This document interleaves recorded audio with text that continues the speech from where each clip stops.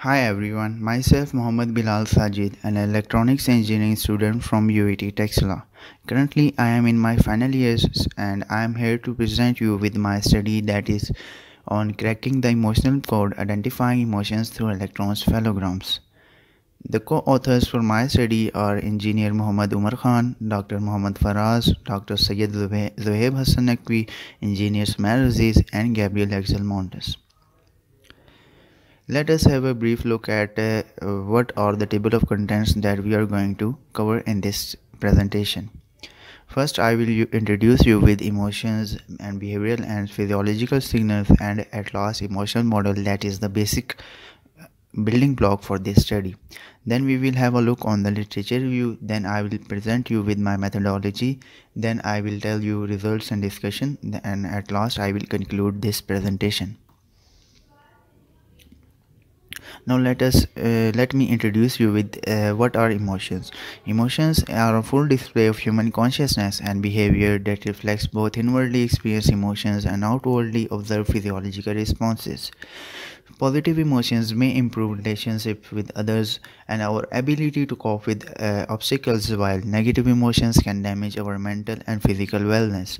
With an increasing number of applications for human computer interfaces, the demand for automatic emotion identification has increased.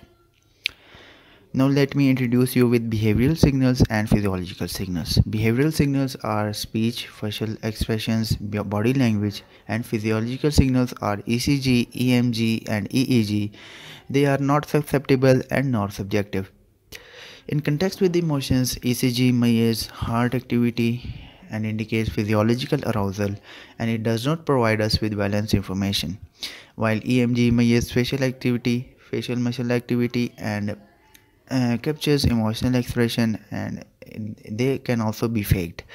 Uh, while EEG measures brain sig electrical signals and they are promising for emotional identification because they provide us with both valence and arousal information that are most accurate and uh, they are most reliable. Now let us have a look on the emotional model. Uh, this was the emotional model that was represented by James Russell and it was called a James Russell's 2D emotional model.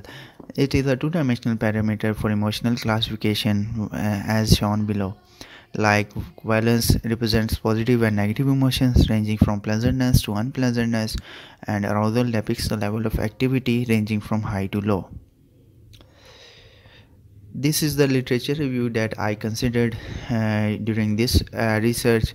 Most of, of, the authors used DEAP dataset and most of them uh, uh acquired uh, accuracy of uh, between 80 to 90 percent with four classes and those who acquire accuracy greater than 90 percent have their models inefficient or like it was also and some um, yeah, authors got 94.9 Eight percent with accuracy using support vector machine but their classes were two.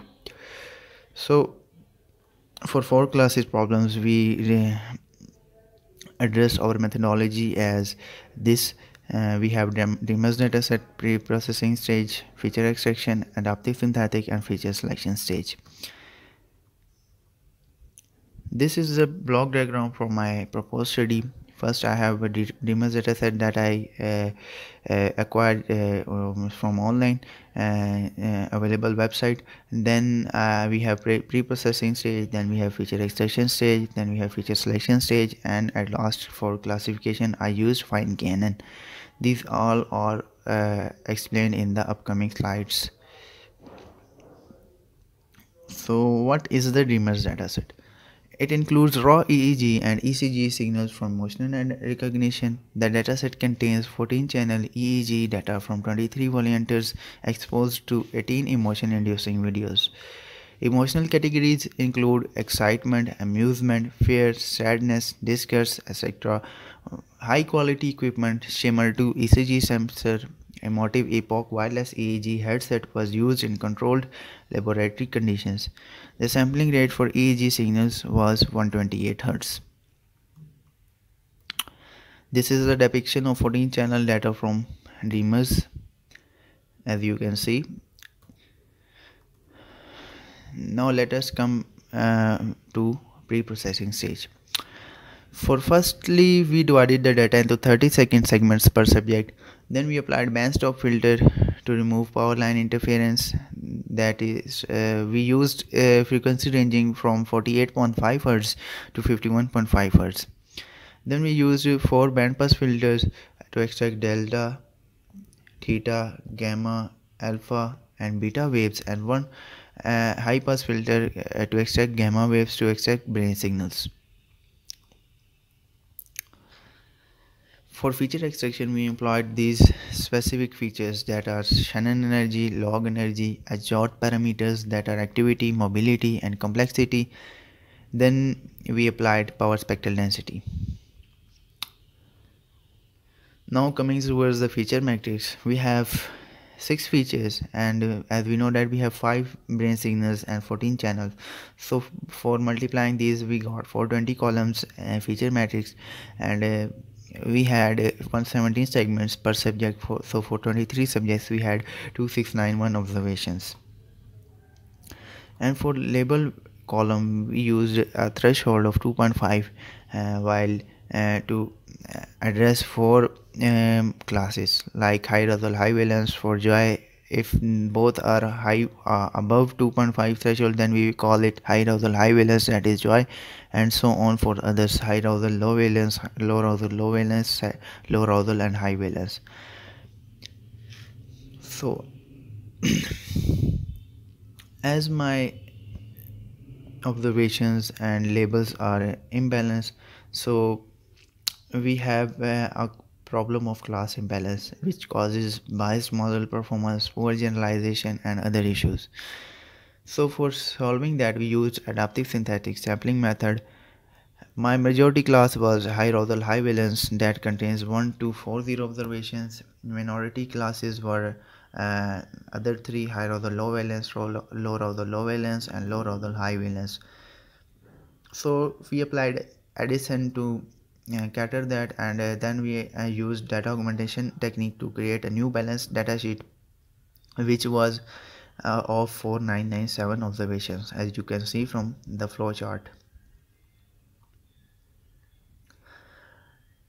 Feature selection as we know that feature selection serves an essential role of refining the feature set by identifying and retaining only those features that make significant contributions to the classification process. It helps us reduce computation. So to up for that approach we used chi-square test, a popular feature selection method. We selected 50 best features out of 420 using the chi-square test. Now let us uh, discuss the results and discussion. For results, we use MATLAB's classification learner tool for classification using various machine learning algorithms. KNN uh, algorithm was employed for classification and regression problems. It was straightforward, simple to use and relies on distance function and the value of k for categorizing cases. Faster training time as compared to support vector machine or linear regression it learns from dataset only and it does not involve complex parameter tuning. For comparison, uh, uh, we use other classifiers uh, like Ensemble, Neural Network, Weighted KNN, and Support Vector Machine, and their uh, accuracies were 88%, 87.5%, and 86.4% respectively. Then we used Fine KNN with tenfold cross validation to improve accuracy and we used uh, we got accuracy of 91.1 percent. Fine knn uh, is like uh, we have the k value of 1 so the class wise accuracy is also presented in the confusion matrix. And this is my confusion matrix for fine knn as we can see from the confusion matrix we had 78.2 percent uh, accurately predicted class 1 class 2 was accurately predicted uh, 90.8 percent and 96.8% uh, was uh, true for class 3 and 98.4% was true for class 4 uh, by comparing it with the previous methods our proposed method uh, uses remerged dataset and fine KNN and uh, achieves 91.1% accuracy for four class problems Now, conclusion. To conclude that my proposed methodology focuses on four emotions that are pleasure, sadness, joy, and anger. Pre-processing stage includes four band pass, four uh, band pass, one band stop filter, and one high pass filter. They all are infinite impulse response filters. Fine KNN classifier achieved a classification accuracy of 91.1% with faster training time, that is approximately 25 seconds. Future work will concentrate on exploring other features and decomposition techniques and uh, we